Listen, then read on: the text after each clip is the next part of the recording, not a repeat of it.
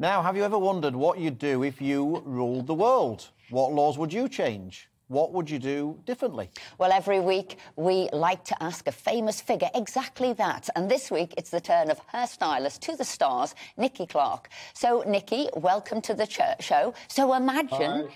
if you rule the world, what's the first thing you would do? Uh, I mean, I mean, I had so many of these things, but they all sound very kind of like sort of nothing in end. I mean, I had things like, you know, like, oh, should my um, should all high streets become pedestrianised? I mean, I'm in St John's Wood, and they've pedestrianised it. I thought, my God, this is great. You know, I mean, I'm trying to think of the downside of, you know, maybe access, people with disabilities maybe. But then I'm thinking, you know, if all of the roads near there, why aren't every single uh, uh, high street, you know, you literally just pedestrianised? You know, we get rid of cars. And then I sort of thought about things like, well, I should be should be making everybody have their hair done every week.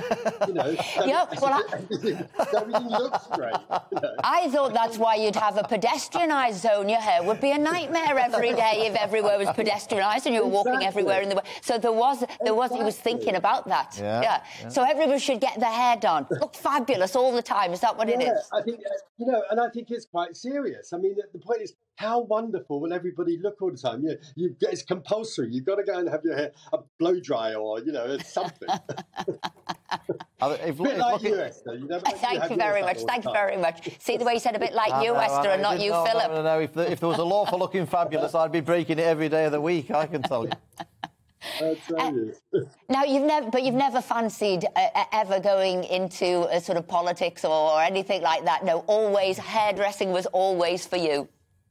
Do you know what? It's so funny. I mean, I'm kind of blessed in this job, and you wouldn't really believe it, but I've actually have a huge interest in politics, and I have sat in um, Parliament before, the way certainly the way you have, and I've actually done a number of things. But there was a point. I think I did. I think I did the poli- uh, political show on the BBC once, and um, and I think my uh, business partner said, "You know what? It might be better if you just drop the politics stuff." I mean, it was actually when Scotland were. Um, uh, you know, talking about the you know the first referendums, and I actually was in support of them staying within the union, and I didn't say anything other than you know pretty much that actually. Oh my god! I mean, thank God I'm not on social media that much because the vitriol that comes with it just is you know not something that you you know you're always going to upset somebody. I mean, it, it probably didn't help when I said something like it's all getting a bit Braveheart. So that kind of was the you know the, the, the thing that sort of got them going a bit. But anyway, it's like so so yes, I do have a huge interest in it, but I probably tend to try and stay as neutral as possible. And I think, you know, in these mad times, oh my God, I mean, I think anybody that sticks their head above the parapet is going to get kind of, you know, shot down. But it is interesting actually because I did do Margaret Thatcher's hair in the 80s. I was summoned to do, you know, uh, for uh, a portrait for Vogue. And it's actually the one that's hanging up in the um, in the National Gallery now. And um, I remember before going, I come from a fairly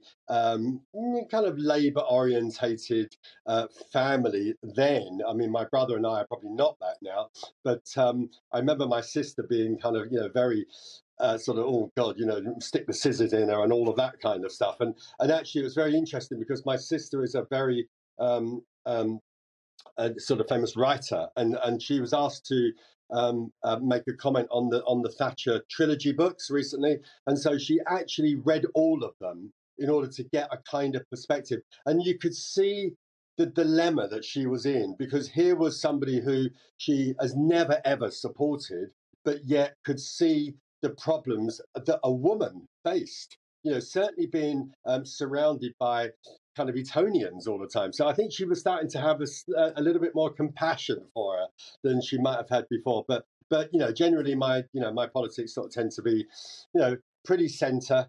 Um, you know, yes, I you know Tory voter, but of course I actually have certain times when I think no, I think the, the sort of the the, the more liberal socialist side of capitalism in some way is really what probably is is the best way forward somewhere in the middle. I don't really want to be too far left or right i think